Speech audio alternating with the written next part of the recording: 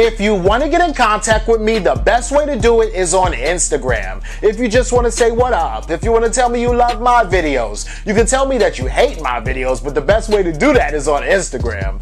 Peace, y'all. Jonny Fastlane here. So, Wack 100 says he ain't mad at 6 9 and Nicki Minaj seems like she's about to drop a new album, even though she just said she was retiring. Plus, Gucci Mane talks about his issues with Young Thug. Let's talk hip hop.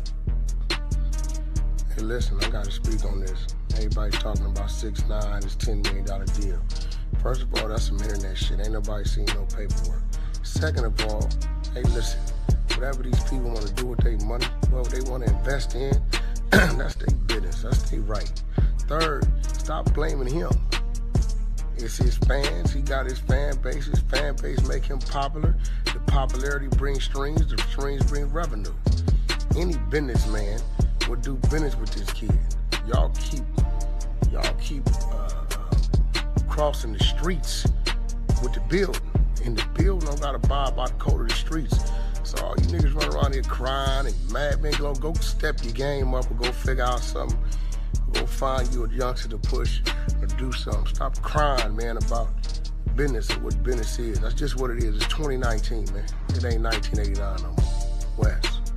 All right, so that's Wack 100, right? And you know he's the Game's manager, and he's also Blueface's manager, right? Um, he works with Cash Money or Cash Money West, right? Um, he's a big blood OG, triple OG, and basically he's talking about six nine, right? So here's my whole thing, right? Wack 100 has a little bit of beef with YG, right? And Blueface has a little bit of beef with six nine. It ain't real beef. It's industry beef, right? Um, but anyway, so Wack 100, I would think that he would have a whole different take on this, right? Um, but Wack 100 is speaking straight facts at the same time. So when I think about Wack 100 and just what he represents and his persona, if somebody asked him about six nine, I would think he would say, you know, fuck that bitch ass snitch ass nigga. Six nine can't come around here, right? That's what I would think the energy would be. But it wasn't, right? And also nobody asked him, but he basically was like, Yo, talking about 6 9's $10 million deal that was announced last week, basically saying, look, that's just some internet shit, so we don't even know really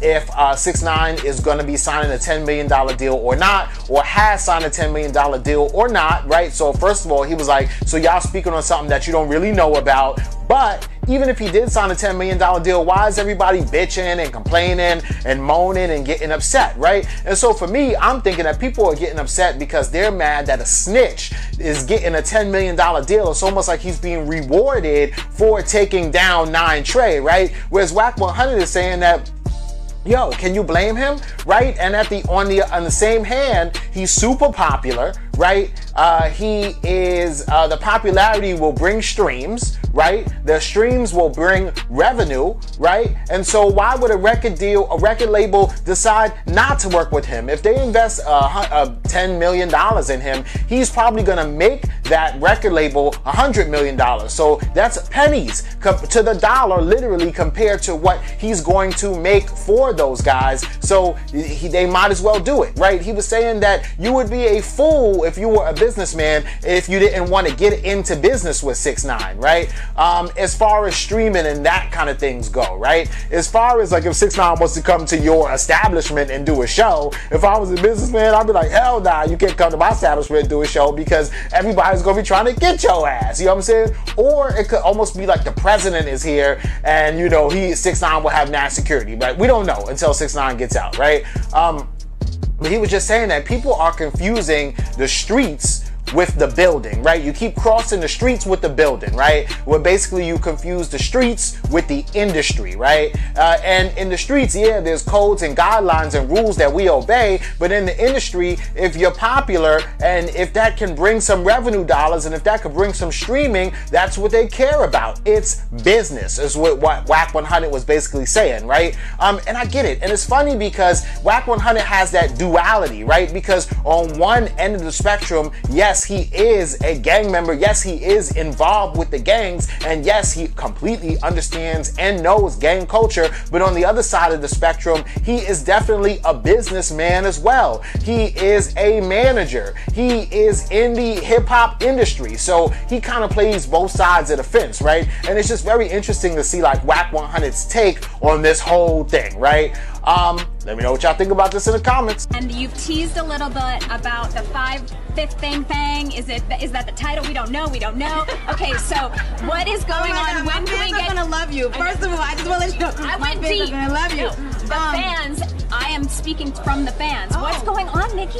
When's this music coming? The thing is, I'm ah. always working, but I just don't know if I want to technically come out of my Twitter retirement okay. just yet. Okay. So I'm working and I'm working and whatever. If I do put out the fifth thing thing, it's gonna be iconic and insane. Yeah. But I don't know yet. Next level Nicki is like what I like to call that. Yes. Now. All right, so Entertainment Tonight caught up with Nicki Minaj, right? And I got to say, yo, I know like sometimes people be watching my shit, they be like, yo, he be going in on Nicki sometimes, but Nicki is my favorite female rapper, right? In my top five, like, and I'm just not talking about top five female rappers, I'm just talking about five, top five rappers of all time. Uh, Nicki Minaj is there, right? And she's the only female rapper that's there, right? Um, I love Nicki Minaj, right? And I love her music, and maybe that's why sometimes it seems like I'm going a little bit hard on her because I just want her to be the best, right? Same thing with DMX and a few other people too, but whatever, right? Um, so anyway, the Entertainment Tonight caught up with Nicki Minaj, and Nicki Minaj is killing me, yo, because this is the thing, right? She comes out, she's like, oh, I'm retiring. Oh, I'm trying to have a baby, right? And for me, I really thought that Nicki Minaj was definitely gonna retire and just have a baby and focus on family life and focus on, you know, chilling with her husband, right? Um, but she has that kind of personality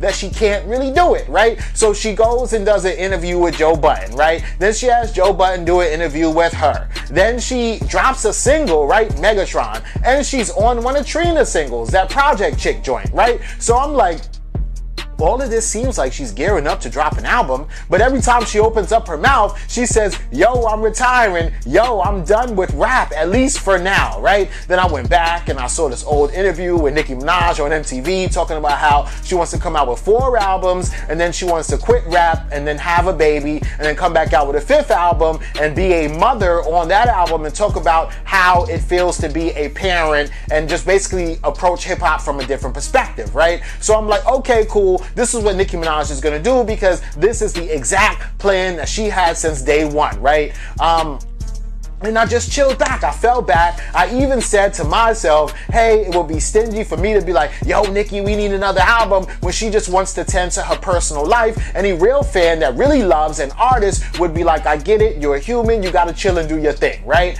But Nicki Minaj ain't chilling and doing her thing, right? So they ask her about the fifth thing thing, which I guess is supposed to be the name of the new album, right? And that's the fifth album. And she's like, yeah, you know, I'm not sure yet, but you know, I wanna see if I come out of my Twitter retirement. First of all, she does one of these Twitter retirement, and then you what? You retired from Twitter? I thought you retired from hip hop completely. Now it's just a Twitter retirement. Like yo, stop playing, Nicki. And one of my mans, like one of my homeboys, right? And shout out to Sid because he did say to me, he did say it, right? That Nicki Minaj dropping an album before the end of the year, 2019. He said it, right? And I'm like, nah, no, she ain't, man. She says she retiring. Yeah, I think she'll probably come out with another album, but not for like another two years from now when her baby is walking and all that. But it seems like Nicki's about to drop an album right now. You know what I'm saying? Which is crazy. But um We'll have to see what happens. Nicki Minaj is very confusing, but uh, this is the latest that she's saying that she might come out of her Twitter retirement.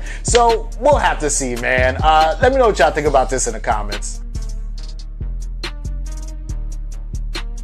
Yo, so it's 1017, right? And anybody who is anybody in hip hop knows that 1017 is like the day that Gucci Mane like drops his albums and stuff like that, right? So October 17th, true to form, yo, Gucci Mane is about to drop an album tonight, right? Woptober 2. And he kind of says it's more like a mixtape than an album because he's not saying it's like an overall theme, but it's like a collection of the 13 most recent songs that he has based on like the last month or two, right? Right? He says that it's nothing for him to crank out an album. He could bust an album out in like two days. So he's basically giving us the newest version of Gucci Mane that he has to offer, right? Um, And he said this on Everyday Struggle because he was on Everyday Struggle with Akademiks Wayno, and Nadeska, and this was so dope, right? So this morning, he's talking to them, he's sitting down, he talks to them about a lot, right? So he talks to them about the Angela Yee thing, and basically they were asking him, like, were you really banned from the Breakfast Club? Um, and he says, well, it, they didn't say that, yo, Gucci, you banned, but every time that his record label tried to reach out to get him an interview on the Breakfast Club, they would deny it, deny it, deny it. So he figures that, you know, they were, he was banned